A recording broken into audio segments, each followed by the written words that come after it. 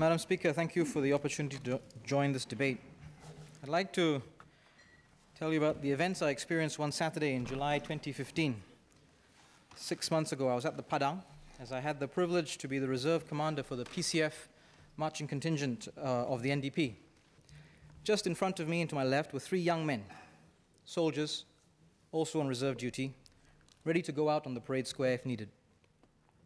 Their uniforms were white and starched, their boots shined to a mirror finish, the brass all buffed and polished. I was reminded of my three sons, especially as these three in front of me were engaged in the very familiar mix of bravado and aggression and camaraderie that seems to strike any group of young men when they're away from the influence of their mothers and girlfriends and wives. They were joking and poking and pushing and shoving, enjoying each other's company.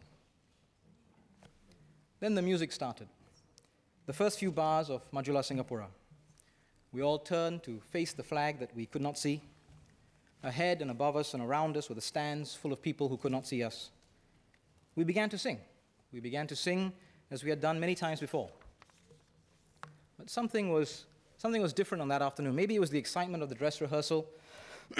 Excuse me. Or maybe it was just a sense of whimsy or foolishness on the part of one of those soldiers. But these three young men, these three young soldiers on my left, started to sing as loud as they could, pouring all their energy, not shouting, but putting every ounce of effort into singing, using every fiber of their being. You could hear all the passion and pride that they could muster. Maybe they were egging each other on. Maybe they thought they would try and drown out the thousands of spectators that they couldn't see.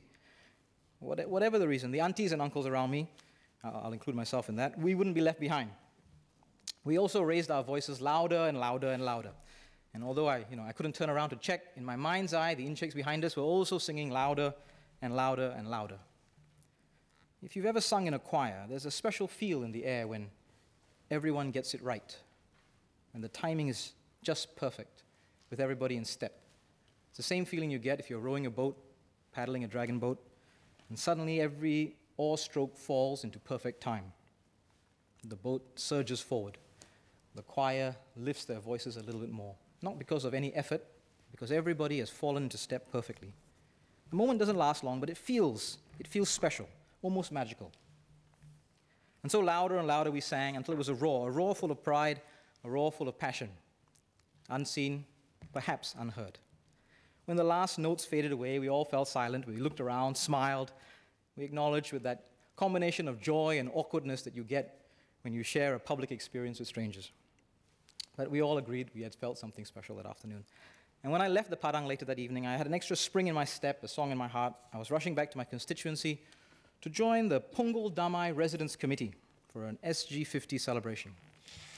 They had worked very hard for many weeks, decorating their estate, building a little kampong, putting up flags everywhere, some big, some small.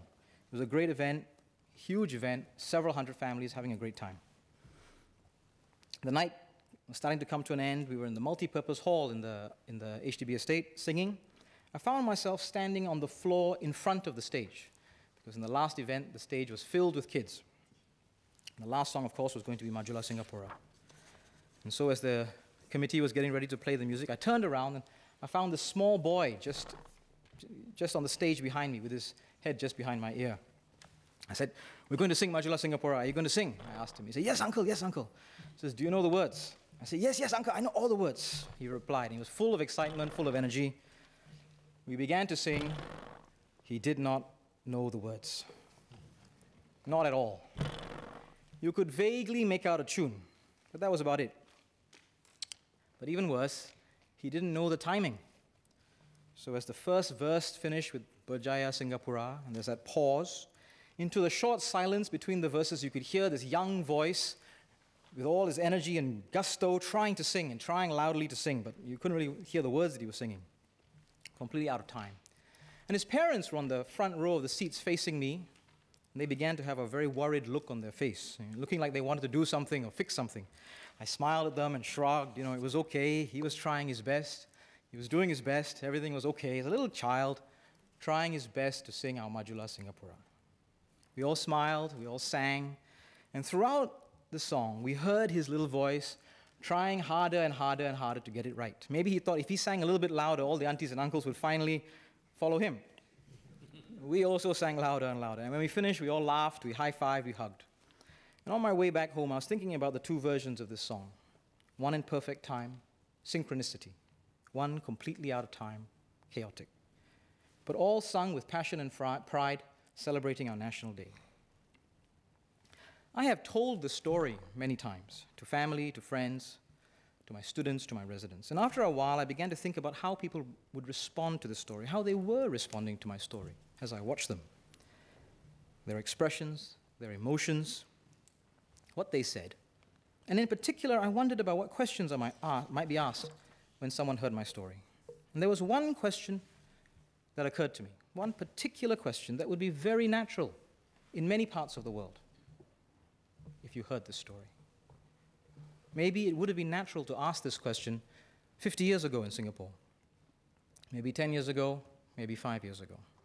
I began to look out for the story, telling the question deliberately, waiting to see if someone was going to ask me, watching and waiting. I was never asked this question. In the Singapore of today, in the six months that I've been telling the story and boring my grassroots leaders with it, I have never, ever once been asked about the race of these boys. The soldiers, the little boy, I have never been asked what race they were. What does that say about the Singapore of today? That when I tell a story like this, it doesn't occur to anyone to ask because it doesn't change the story. The stories about Singapore and Singaporeans, regardless of race, language, or religion.